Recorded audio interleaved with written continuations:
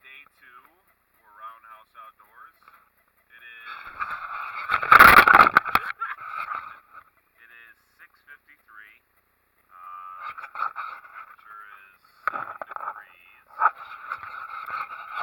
it looks like it's going to be a pretty cold one. I'm at Lake Winnie. Uh, I'm gonna go out there early this morning, and see if I can catch up on a get in on an early walleye bite got today, so we're gonna see if we can catch some. Uh, excuse me. Top that we're gonna try to get some